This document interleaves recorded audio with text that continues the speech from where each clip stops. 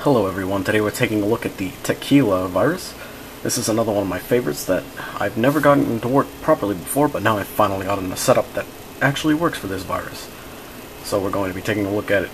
This was actually quite widespread in Europe, which makes it one of my favorite because it was actually out in the wild. People were commonly infected with this virus and had experience with it. And it appeared in 1991 and actually has some author information left in the virus itself, which we'll be taking a look at. So we'll go ahead and run the virus, and it is now present in memory. What it's done right there is infect the master boot record, and basically installed itself there, so that every time you reboot, it will take control and will infect all exe files and all floppy disks used in the system. So we'll go ahead and infect a few exe files here. Uh, it avoids infecting files with either the letters SC or V in the name, and this is done to prevent infecting common antivirus utilities at the time, like McAfee's Scan or Microsoft's vSafe. So we ran mem, we'll run check disk, we'll actually see, oh we don't see it yet, I guess we have to infect two more files, but Tequila will actually cause a bunch of allocation errors, file allocation errors, as it uh, improperly infects them, and basically makes an error when you search for those files. So if you try to run checkdisk with the slash f flag, which is fix, it will attempt to fix those errors, which will lead to uh, massive data corruption. So we'll go ahead and run a few more files. So, nothing too major here. Okay. So I've got an infected a few files, so now we'll go ahead and take a look at the payload of Tequila. It activates four months after the first infection, so we'll change the date to June 2nd, 1996 and we'll go ahead and restart.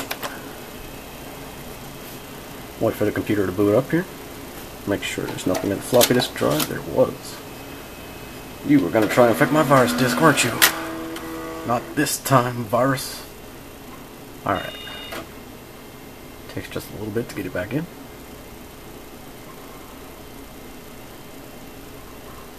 And now that we've booted, four months after the initial infection, we will see the virus payload, which happens on the fourth execution of any infected file. So we'll go ahead and list just exe files really quick in this directory listing. And let's see, what's a really basic program we can run? We can run M386. So we'll just run that. And on this run, there we go. Sorry about the uh, refresh rate once again.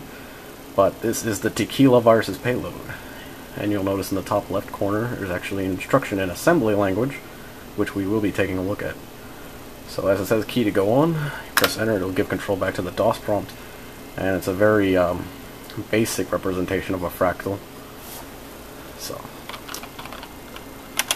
if we do another directory listing we'll notice the text is white instead of gray as it's adopted the color at the bottom of the Mandelbrot fractal. But remember there was that assembly instruction on the machine on the uh, screen for us there.